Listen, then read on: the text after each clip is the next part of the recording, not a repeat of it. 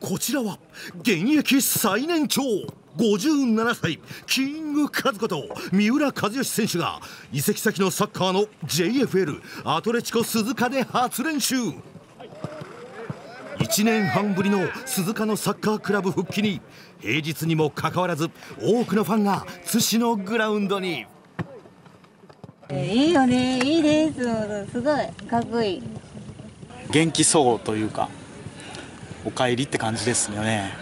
カズさんらしいというかね。またぎフェイントとかまた見てみたいですね。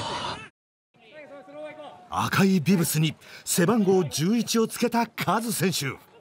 30歳以上も年が離れた選手たちとパス回しで軽快なステップを見せますが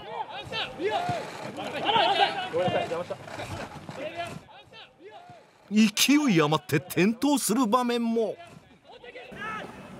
そして。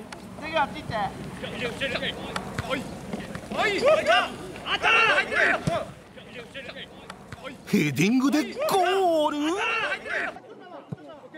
1967年生まれの熟年世代の星はまだまだ現役です。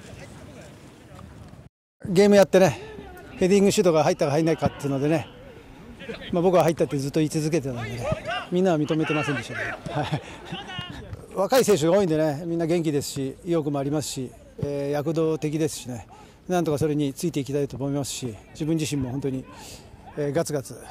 ベテランらしくなくやりたいなと思ってます、はい、チャレンジというねことがやっぱりすごく大事で自分自身も次のゴール次の勝利をね目指して全力を尽くしていきたいしその姿をグラウンドでね表現できたらいいなと思いますんで皆さんに勝利とゴールを早く届けたいなと思います。応援よろしくお願いします。練習後も駆けつけたファンと交流するカズ選手